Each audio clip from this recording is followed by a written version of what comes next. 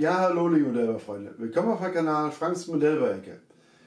Ja, ich wollte euch mal wieder ein kleines Update geben über meinen Kanal, wie es jetzt auch weitergeht. Ich habe ja jetzt mehrere Wochen schon kein Video mehr hochgeladen.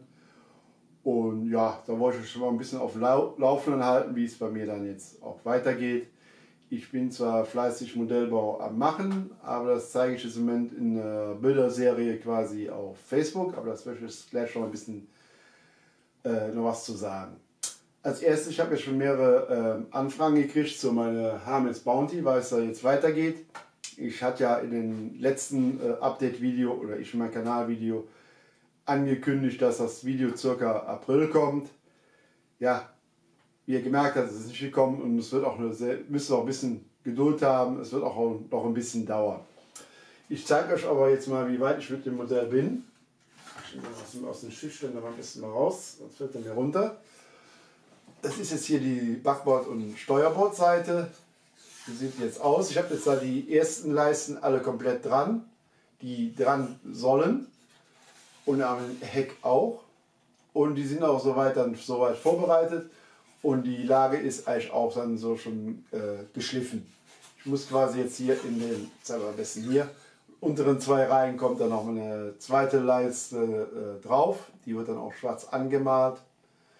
Was auch gemacht werden muss, ist dann quasi hinten die ganze, das ganze Heck, die ganze Fenster werden angebracht, der Namensschriftzug und die Zierleiste kommt dran. Es muss noch gemacht werden hier äh, beiden Seiten noch so äh, die Fenster, die Erkerfenster, die müssen auch noch gebaut werden und angebracht werden. Es müssen noch die Halter von den Lafetten äh, angebracht werden und die Lafetten kommen, ne, die kommen nicht drauf, nur die Halter kommen drauf. Und hier vorne äh, am Bug werden noch die Löcher gebohrt schon für die Ankerkette. Das ist das, was ich jetzt so spontan auch im Kopf habe, was noch gemacht werden soll. Ich stecke das jetzt gerade mal wieder in den Schichtständer rein. So. Und wie ihr seht, äh, ich bin noch nicht so weit. Ich habe das zwar jetzt am Anfang schon ein bisschen aufgenommen, aber ich habe das Video natürlich schon, wo ich nicht gebaut habe, kann ich das Video noch nicht zusammen haben. Und es wird auch noch die darauf warten, noch leider noch ein bisschen dauern, da müsst ihr ein bisschen Geduld haben. Ich hatte jetzt, äh, ja, Anfang April, wo ich jetzt auch schon die Leisten jetzt wieder hatte, ähm, nicht so einen großen Bauspaß dazu. Mir sind auch ein paar andere Modelle, wie ihr auch gemerkt habt, äh, dazwischen gekommen, zum Beispiel jetzt hier äh, mit den Klemmbausteine, der, der, ja, das Go-Kart und äh, den Formel 1 Renner. Und dann bin ich ja auch noch, ähm, ja, habe ich ja noch andere Modelle, äh, die ich noch baue. Ich zeige ja noch den Ecto One auf meinem Kanal, auf YouTube-Kanal. Aber ich baue ja noch äh, andere Partwork-Modelle bzw. Schraubmodelle, zum Beispiel noch den DeLorean und den R2D2. Das zeige ich alles in der Bilderserie auf ähm, Facebook. Da könnt ihr auch gerne mal vorbeischauen. Das heißt auch Franks Modellbauecke. Gibt das einfach auf Facebook ein und dann das ist eine öffentliche Seite, da könnt ihr dann drauf gucken. Genauso wie ich jetzt hier den Falken habe, den zeige ich auch da in der Bilderserie. Und die sich jetzt auch dann hier für die Bounty interessieren, wenn die auf Facebook sind, da kann man eher mal sehen, wenn ich da mal ein äh, Bild von hochlade, sage ich bin am Bauen oder so, aha, der macht da weiter, dann ist das vielleicht auch ein bisschen aktueller, da weißt du, aha, kommt bald ein Video davon oder so.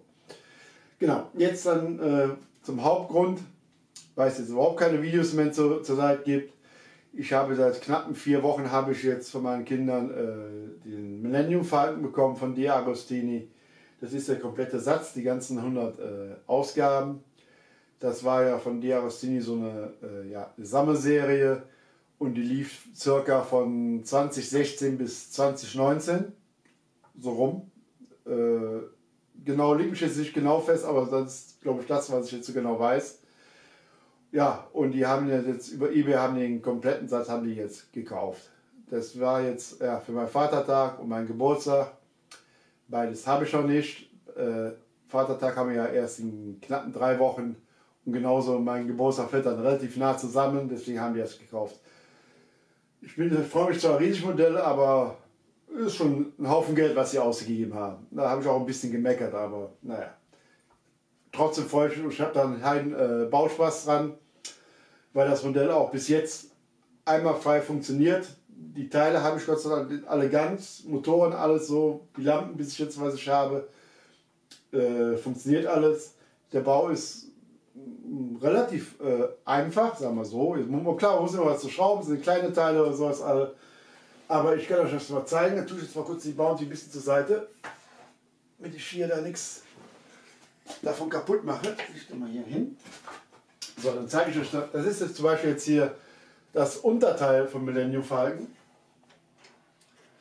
Und das sieht jetzt erstmal von, ja, von der Unterseite dann quasi so aus.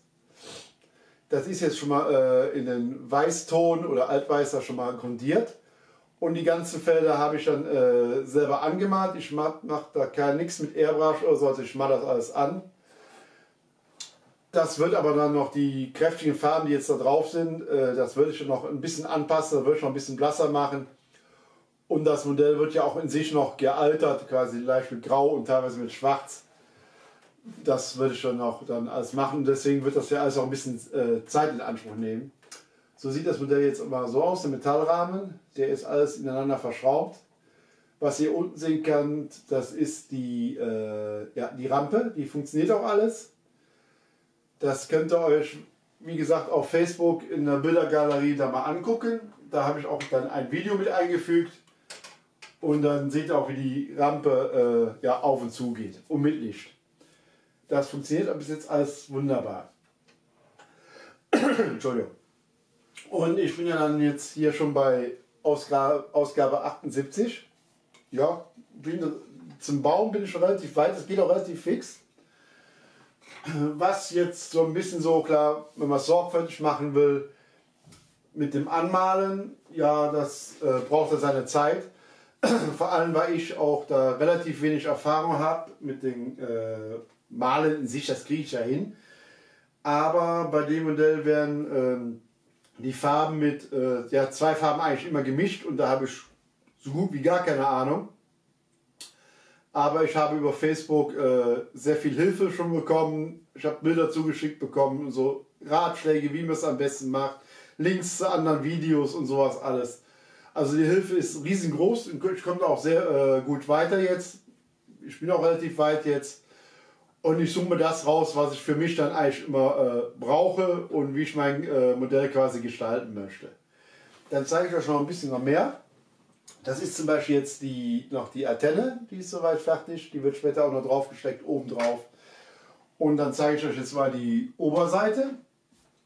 Das ist so ein Element von der Oberseite. Das wird später noch äh, verschraubt. Das ist da quasi, ja, ich kann es jetzt nicht, warum es dann mit dem, ja, mit dem Innenraum, wo man reingucken kann. Aber das ist eigentlich jetzt vorne, das zeige ich euch jetzt auch mal. Das ist quasi das obere Element, sieht das aus. Hier ist dann später das Element, was ich euch gerade jetzt gerade äh, gezeigt habe. Da liegt ein Teil ab, was aber nur mit Magneten gehalten ist. Und deswegen ist jetzt nichts kaputt gegangen. Und dann kann man auch das Element jetzt hier wegnehmen, später ist auch mit Magneten gehalten. Und man dann später, glaube ich, das ist der Bereich, wo man auch dann in den Innenraum dann reingucken kann. Wenn ich jetzt was falsch sage, dann, äh, ja, dann ist es leider so. Aber ich glaube, das ist der Bereich, was ich jetzt meine, was da später so für ist. Genau. Ja, genau, das wollte ich euch so mal äh, gezeigt haben. Das ist auch jetzt hier die Farbe, so wie er geliefert wird. Bei dem oberen Teil ist ja auch schon fertig, die Felder äh, ja, schon angemalt. Zum Beispiel hier die äh, Beschussspuren quasi, die fertig sind und das Graue mit den farblichen habe ich jetzt gerade schon ein bisschen, konntet ihr auf den Element da schon sehen hier. Ups, so, das sieht dann so aus. Die sind bei dem äh, so, ist so geliefert worden. Und das ist das mittlere Element. So sieht das dann aus mit den ganzen Farben. Und das Rot zum Beispiel jetzt hier und das äh, Gelblich oder ja, das Altgelb so oder ja, Dunkelgelb die Farben musste sich ein bisschen dann äh, selber mischen. Das Rot ist quasi aus so, es sind Tamiya-Farben, aus normalem Rot ist es gemischt mit ein äh, Rotbraun. Und das ist quasi ein Gelb, auch mit, damit äh, Rotbraun wird das gemischt in gewissem Verhältnis, bis man die Farbe dann auch dann so zusammen hat. Aber das hat, wo ich die ganze Hilfe hatte, wo ich das jetzt einmal raus habe, hat das Gott sei Dank auch so ziemlich gut funktioniert. Ich komme jetzt äh, relativ gut zurecht. Aber was ich jetzt noch machen muss, quasi jetzt noch ein bisschen dann mit dem Altern, mit dem Eingrauen, da muss ich mich äh, ein bisschen rantasten und da brauche ich auch noch ein bisschen Zeit für dann, somit das alles funktioniert. Ja, zum Beispiel hier ist, das, hier ist der Innenraum, hier habe ich noch mehrere Teile liegen und ja, da fällt, weil das teilweise auch noch nicht äh, nur zusammengesteckt ist, noch nicht geklebt ist, fällt das jetzt auch alles ein bisschen auseinander. Aber das ist im Moment noch nicht so tragisch. Ja, wie gesagt, so, jetzt wisst ihr äh, so einigermaßen Bescheid, warum ich jetzt keine aktuellen Videos mehr im Moment hochlade.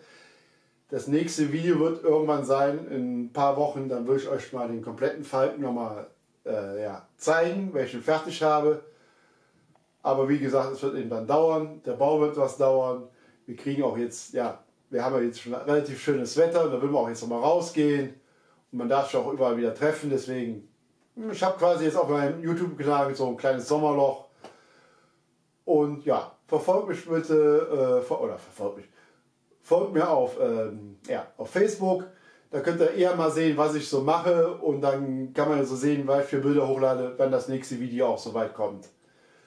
Okay, dann wünsche ich euch, bleibt bitte alle gesund, passt auf euch auf und ja, macht viel Modellbau, geht ein bisschen raus, aber seht euch, macht's gut, bis später. Ciao.